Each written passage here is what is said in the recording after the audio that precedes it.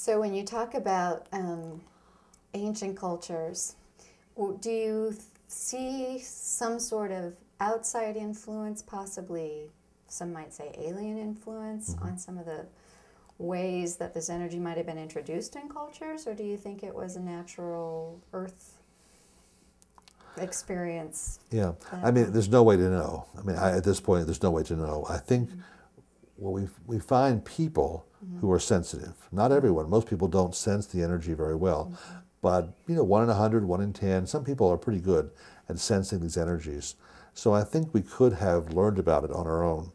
And uh, my my guess is that uh, at one time in the past, there may have been much more communi- communication, knowledge of, among different areas of the world because the cultures, the, the structures are so similar. The technology is so similar in different places. So there might have been much more, uh, a much more advanced culture perhaps in the past based on this energy that we have no knowledge of or no historical proof of today.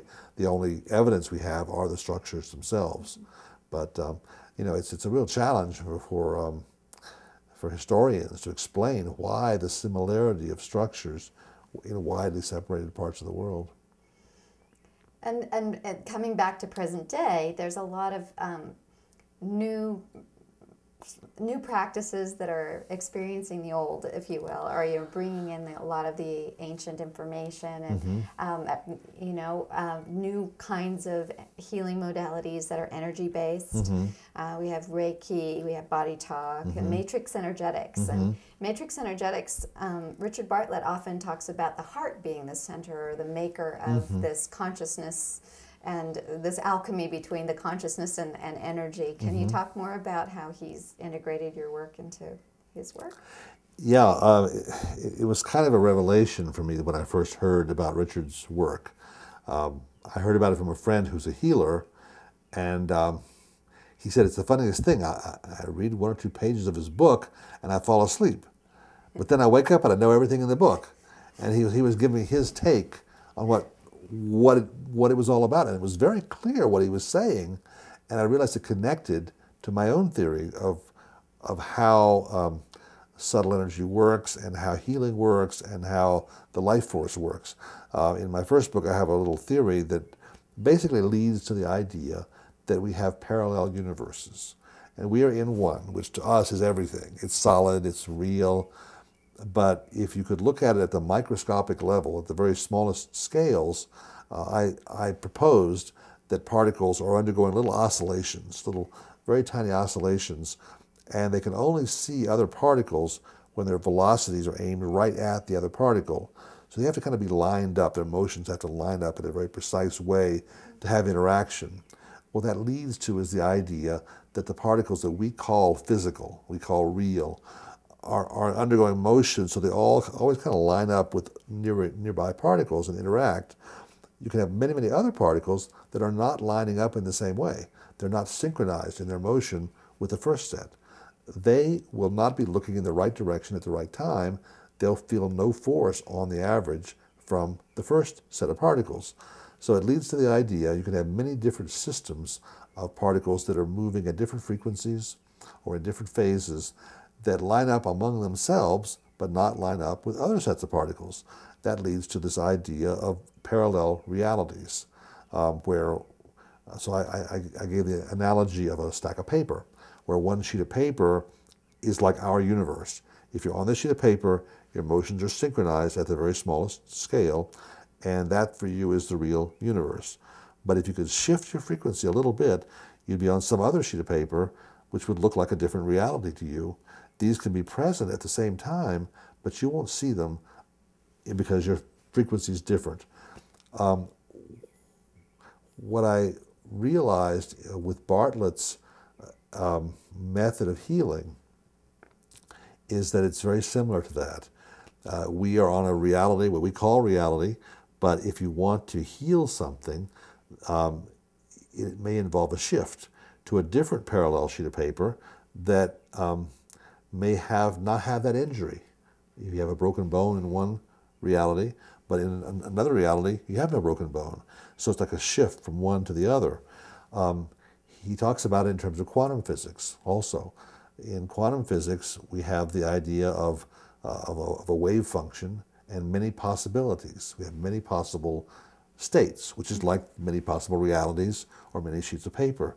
And uh, in, the, in the quantum realm, uh, if you don't look, if you don't focus on the reality that you're in, then they are all kind of possible at the same time. And it seemed to me that what he was doing was going from the one sheet of paper, the reality that we're focusing on, the broken bone, going back to another, a broader state of reality where they're all, the different parallel realities are, are present. They're all possible, and which is also the shamanistic way of doing things. Um, he calls it, you do a two point and then you drop down, which is a way of saying, I stop focusing on my injury. I stop focusing on what I thought was real. You go into a meditative, altered state where everything is possible, where all possible realities are present. Then you shift back and you pick a different reality when you come back. It's called collapsing the wave function. You come back to a different, different sheet of paper in the stack. And um, if you look into um, the literature of, um, say, the kahuna, the kahunas of Florida, of uh, Hawaii. The kahunas is a very ancient tradition in Hawaii, uh, where these are the uh, medicine men, the, the, the leaders there. Uh, they have a similar practice there, um, where they will do instantaneous healing by going into this uh, intermediate state where everything is possible and then shifting. So um, um Max Freedom Long spent many years in Hawaii and, and uh, studying these and many, many examples of things he observed with his own eyes that in the, and this is what they take for granted. This is how they normally heal people. This is their, this is their standard medicine. Huna.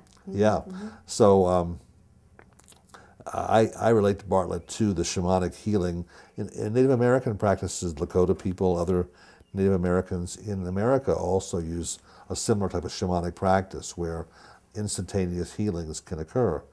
So um, I, I, I, really enjoy it. Um, Bartlett, as you know, has wonder has has wonderful energy.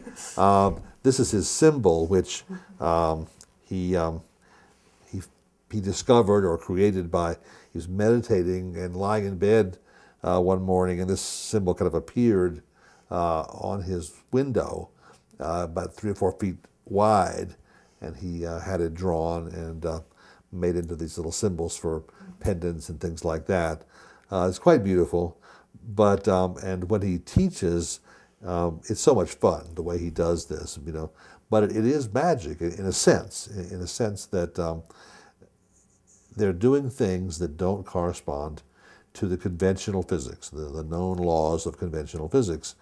But now we're living in a time where we're finding out that these parallel realities and things like subtle energy, the life force energy, really do make it possible to supersede those old laws and to go beyond them. That's where miracles come in. That's where sacred sites like Chimayo, the, the churches, uh, you know, it's not just that someone arbitrarily decided to make some site sacred. It's not tradition. There's a real energy there. Real things happen there. People do have what we call miracles. Um, so it's, a, it's a, to me, it's an exciting time because it's, it's, our science is broadening to include miracles, to start to say, you know, it's a physics that we didn't know about before. It's a, it's a physics at a higher level, but these things do happen. Do you think that in 25 years, the definition of miracle will have have changed to something that happens every day rather than a random. I would I would love that. I hope so. I would love that. Yeah, and, and I would hope that we all kind of learn how to do them because it's possible. Each one of us can learn how to use our consciousness and our intention to shape reality. So I hope we, we all do and we all learn to work together to do it in a positive way so we can help heal our planet and make it a better place to live. So, is there anything else that you'd like to say about your book or contents of your book? Um, my, my book is a pretty comprehensive uh, description of energy medicine. It's probably the most comprehensive book that exists on energy medicine. It covers many different aspects of it, many different uh, It's called Life Force, the scientific basis, because I'm trying to pull together the scientific evidence. If you're an energy healer, you might like to be able to show your clients what is the evidence for these practices. They will often ask, How does that work? You know, how is that possible? And what I'm showing here is the latest scientific evidence for the mechanisms, for how it is that we're able to cause changes.